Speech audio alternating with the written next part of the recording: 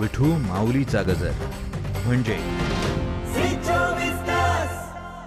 दुबईतले doctor Dhananjay Datar यांच्या अल Adil trading कंपनीनं आपला सामाजिक बांधिलकीचा वसा कसा कायम ठेवलाय बघूया. सात ऑगस्ट दोन हजार वीस रोजी कोझिकोड विमानतळावर घडलेल्या विमानाच्या एका दुर्दैवी घटनेनं एकोणीस प्रवाशांसह दोन पायलट्सचा बळी घेतला होता. कॅप्टन दीपक वसंत साठे आणि सहपायलट अखिलेश कुमार हे दोन्ही पायलट कोविड नाईन्टीन या महामारीमुळे उद्भवलेल्या परिस्थितीशी लढा देण्यासाठी मध्य पूर्व देशात अडकलेल्या भारतीय नागरिकांना घरी परत आणण्यासाठी अभूतपूर्व अशा वंदे भारत मिशनवर होते. हा अपघात आणि अपघातग्रस्तांची परिस्थिती बघून संवेदनशील मन असणारे दुबई स्थित उद्योजक डॉक्टर धनंजय दातार यांना राहवलं नाही.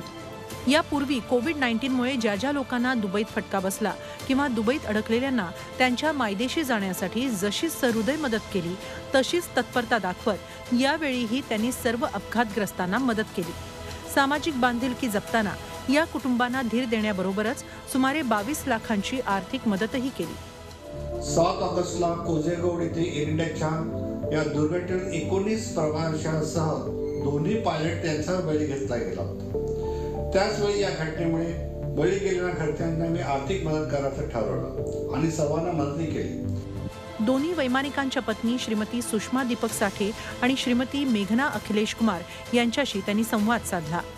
अलीकडे सह पायलट अखिलेश कुमार यांची पत्नी मेघना यांनी मुलाला जन्म दिला ही नक्कीच त्या कुटुंबाची नवीन उमेद असेल. Thank Mr. Dhananjay Datar, chairman of the Al Adil Group, who has shown great patriotism and generosity and offered immediate financial aid to the victims of the Air India Express air crash in Kozhikode, including me. Highest regards for this great humanitarian effort.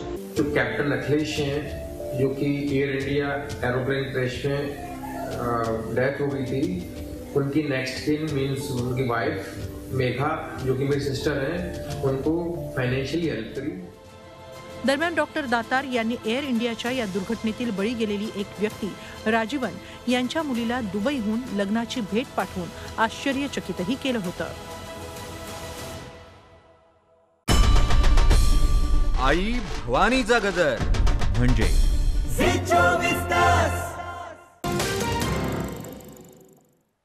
यानंतर इतर बातम्या बघूयात superfast. शेतकऱ्यांनो कापूस विकायचा असेल तर लगेच घराबाहेर पडा कारण सोळा फेब्रुवारीपासून पणनची केंद्र बंद होत आहेत. यंदा पणन महासंघानं सतरा हजार शहाण्णव शेतकऱ्यांकडून दोनशे अठ्ठेचाळीस कोटी सत्तावीस लाख रुपयांची कापूस खरेदी केली मराठ्यांची तळपती तलवार. म्हणजे?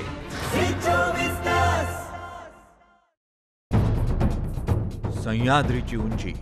म्हणजे?